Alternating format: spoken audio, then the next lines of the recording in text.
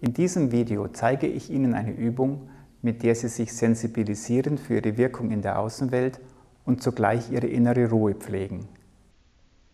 Der Ablauf dieser Übung besteht aus der Kombination von zwei Varianten des E, des großen E und des Ehrfurchts E, des kleinen E.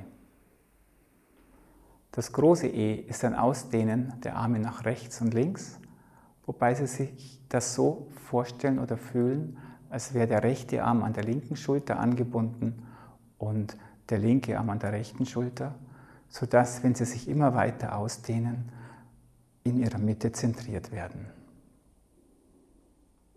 Beim kleinen E führen wir die Arme vor dem Herzen zusammen.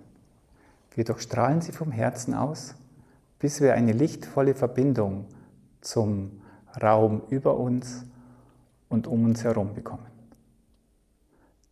Kombinieren wir jetzt diese beiden Gebärden, das große E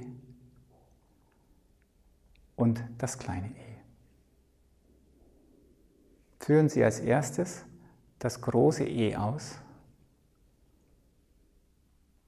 Gehen Sie immer weiter nach rechts und links hinaus Spüren Sie, wie der rechte Arm die linke Schulter heranzieht und den ganzen linken Körper, der rechte Arm, die andere Schulter und wie sie dadurch immer mehr zentriert werden.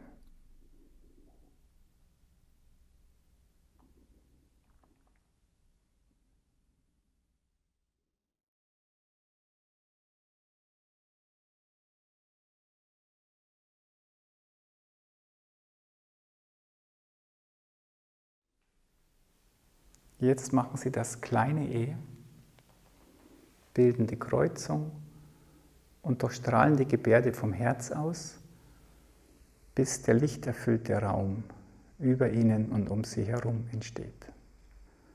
Verstärken Sie das Erlebnis auf der Begegnungsebene, der Arm, der hinausgeht, der Arm, der hereinkommt, sodass die wärmeartige Qualität auf dieser Ebene entsteht. Und spüren Sie, wie Ihr Herz das Zentrum dieser Aktivität ist. Licht und Wärme.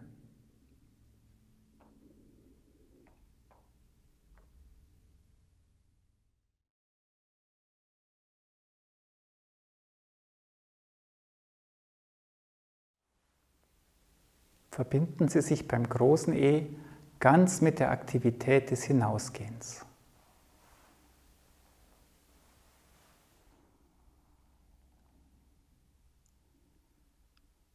Und beim Ehrfurcht-E ganz mit der Aktivität des Hineinspürens.